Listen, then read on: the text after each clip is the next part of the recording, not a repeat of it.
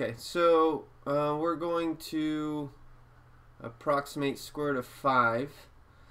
Um, and so the uh, so we need to first make a uh, an equation that has a solution of square root of 5 and it can't be at a linear equation so um,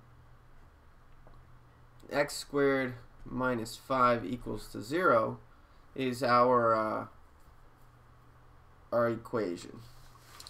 Now then what we need to do well we need we're gonna need the so we have this guy. Um, so this is basically this is our uh, function. X f x squared minus 5 and then we need to find the derivative. Um, so uh, let's find the derivative. So the derivative is just 2x and we need our initial guess. So let's start with um, since we know square root of 5 is somewhere between um, since square root of 4 is 2 and square root of um, 9 is 3, so it's somewhere between 2 and 3, but closer to 2. So let's start with um, our guess being 2. Okay, so then uh, we have our formula to give us the successive uh, values. So let's write it down up here, somewhere on the corner. So x sub n is equal to, or x sub n plus 1 is equal to x sub n minus f of x sub n over f prime of x sub n. So basically you grab your previous one. So here what we're going to have is um, x sub 1 is equal to the previous, so x sub 0, which is 2, minus f of x sub 0. So f of 2, so if I plug in 2 here, I would get, or let's just plug it all into uh, in 1. So this is 2 squared minus 5 over f prime of 2, so 2 times 2. And um, I need my calculator. Let me go get it real quick.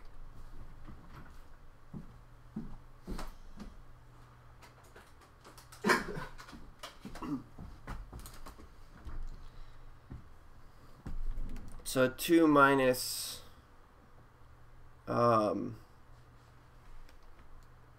negative 1 over 4. So this guy is, I didn't really need my calculator for this one actually, but I'll need it for the next one. Okay, so 2.25.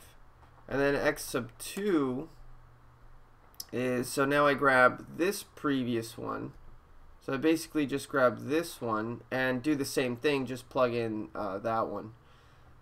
So uh, 2.25. Oh, change colors. 2.25 minus 2.25 squared minus 5 over 2 times 2.25. Okay. And then if I plug that in, um, 2.25 squared minus 5 over 4.5. Okay, so then I get